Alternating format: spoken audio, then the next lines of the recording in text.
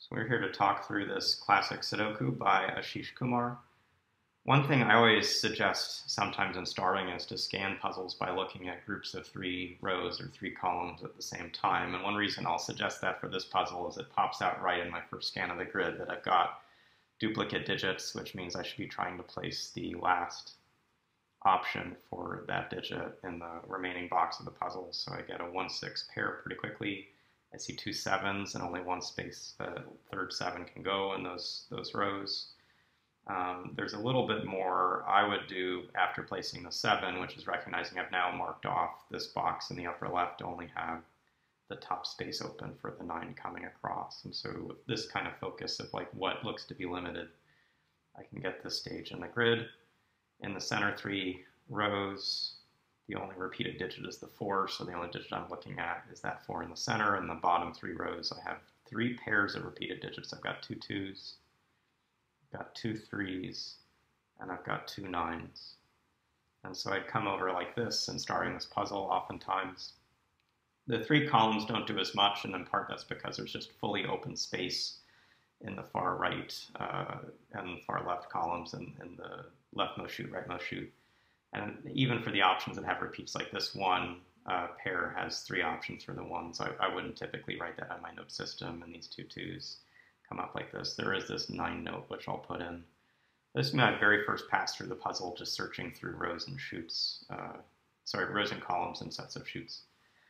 The next thing I would transition to is looking at the most constrained spaces, at least things that stand out. And the first column and the last column certainly stand out in this puzzle. It's actually another place you could have started. The first column needs a 3, 6, and 7. And right at the start of the puzzle with a 7 and 6 in this top row, there was a naked single. The cell was only able to be a 3 at the start of the, the grid. Um, this 6 coming over here actually limits one last option for the column, which we fully complete. Before moving too fast on from these, I want to place notes where I can place them based on these things. So the 7 I placed here gives a 7 and a 7. The 6 I placed gives some information to the bottom, and it gives this information here. Nothing yet in the center. The 1 I placed uh, doesn't look like it's yet doing anything over here. So that looks like most of the progress we can mark from doing this column. So let's come to the rightmost column. We have a 1, 3, and 5 to be placing, and you'll see uh, the 1s eliminate everywhere but this bottom space. So we have something like this going on. We've got a 1 uh, note that's going there. This is still a 3-5, but what I want to now do is explore 3 and 5 a little more carefully in the grid the 5 in the space has a lot of options. The 5 here still has options. The 3 here actually has a note I haven't marked yet. And that's going to give this, and at the same time resolve the column. Um, the 3 I just put in gives me one more note. And the 5 I put in, it doesn't give me something in these spaces yet, but coming across, there's just one option in that box. So that looks like the key progress to this point in the puzzle. And you know, now we step back again and say, where is the next place where there are uh, constraints of interest? These two by two sections that used to have six empty cells, but now just have four is something that looks interesting. This is two, four, eight, but I don't have any twos, fours, and eights anywhere.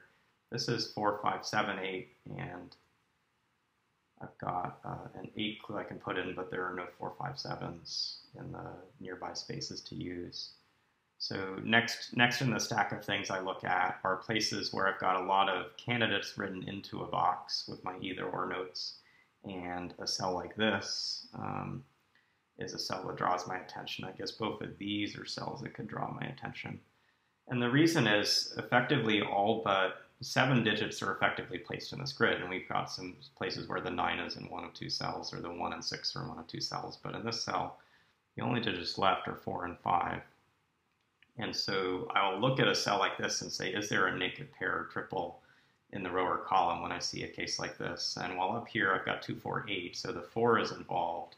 The two and eight add too much flexibility. But over here where this was four, five, seven, eight, this four, five interacting with this other space with a 4 or 5 looks pretty key. And it actually if I, if I even just use that square as a conceptual placement, um, this digit is going to be in one of those two cells.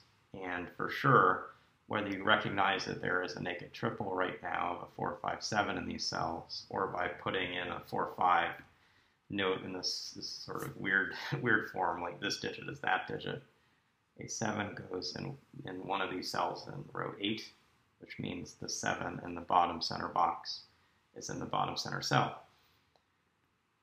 This placement now gets me a little bit excited that we're going to finally use the structure in the center of the grid. We have a lot of places where we have a fourth and sixth column aspect going on, and one thing I see straight away is after I place this option, the six now is again limited to the fourth and sixth columns down bottom, where it was at the top, so I want to think about these two cells for a six. The six can't be in the top one in the center column, so it's in the bottom one. You could separately see that one, two, three, four options are eliminated by one, two, three, four sixes, leaving a six. This six quickly moves this six up, moves this one in, puts a one, four here. I now again have a pair of clues that are in the fourth and sixth columns. So the last one in this space is going to have to be in the center column and in the center section. That puts a one here, puts a six here, moves the six notes right above. This is really just tracking digits we've placed in the grid using the standard form of this notation. I've made a fair bit of progress in different parts of the grid, so I don't want to overrun where I made progress. One thing I see is I've got some bookkeeping I can be doing in this space because I've filled in a lot of the center column now with these two digits coming in. So 2, 4, and 8 are what are left behind. Don't have any 8s in the top of the grid, but I have a 2 that's going to be here. And with the 4 already marked in the space, the 2 and 4 are a pair up top.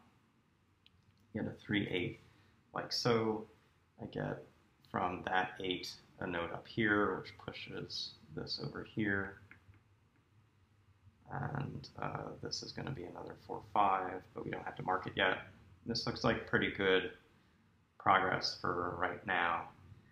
I'd mentioned that these were also spaces to start, and that was when I had just the 1, 6 note. And that's because here there are three digits left to consider, and uh, they're five, seven, and nine, and it's it's less common that you're going to sort of make a lot of deductions off of that. But in this puzzle with the five and nine in this row, it's easier than what I did down here. I think at least at the start with this observation to see that this was a naked single, and in doing that, you'd be able to place uh, a seven there by recognizing this would have been another four, five. So I think there are two two ways to get through the puzzle. You can see a naked triple four, five, seven early on, like what I did, or you can see this naked pair four, five after finding that cell. But if you don't do those steps, I think you're going to get stuck on the easy pathway through.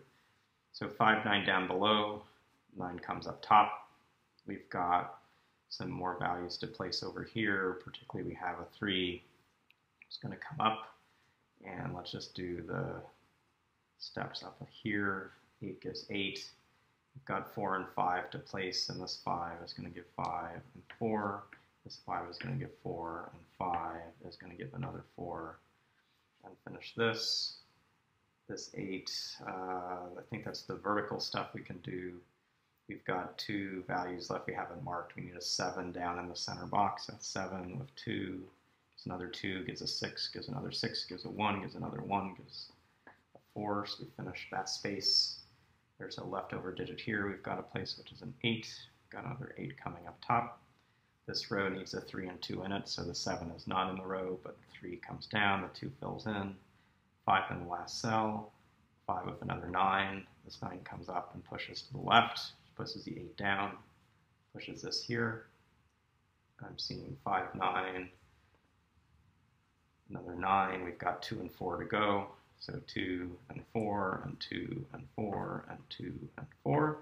And we're through this classic Sudoku, which hopefully gave you a, a, fun challenge. It's like a lot of our harder classic Sudokus, not something that needs a tricky swordfish or other crazy kind of step. It's just a pretty minimal solving path.